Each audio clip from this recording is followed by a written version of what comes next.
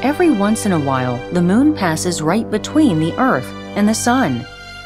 To be in that shadow, you have to be standing in just the right place.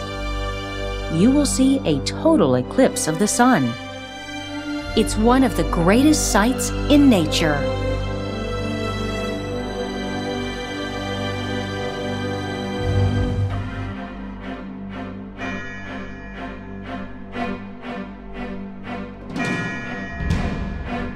Eclipses of the sun and moon had terrified people around the world for thousands of years.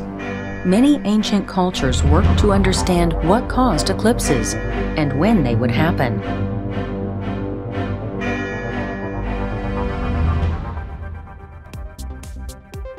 On April 8, 2024, a total eclipse of the sun returns to the United States. It's an experience you'll remember for the rest of your life. April 8, 2024. Where will you be?